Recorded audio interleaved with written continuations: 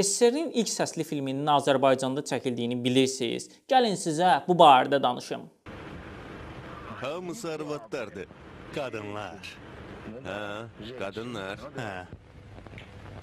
Filmdə hadisələr Sara adasında keçir. Xəzər dənizində tufana düşən iki dost, Yusif və Alyosha yerli əhali tərəfindən xilas edilir. İki dost da burada işləyən qıza vurulurlar. Mavi dənizin sahilində alınan film Azərbaycanın dövlət varidatı elan edilib. 1936-cı ildə çəkilib və SSR-dəki ilk səsli film kimi tarixə düşüb. Səs rus alimi və ixtiraçısı mühəndis Pavel Tagerin sistemi üzrə yazılıb. Filmdə Azərbaycanlı kino adamları da iştirak edib. İkinci operator kimi Mirzə Mustafayevi, ikinci rejissor kimi isə Səməd Mərdanovun adını çəkə bilərik. Aktyorlarımızdan isə İsmail Əfəndiyev və Mirzağa Əliyev filmdə rol alıblar. Bəs dövlət varidatı sayılan bu filmi siz izləmisinizmi?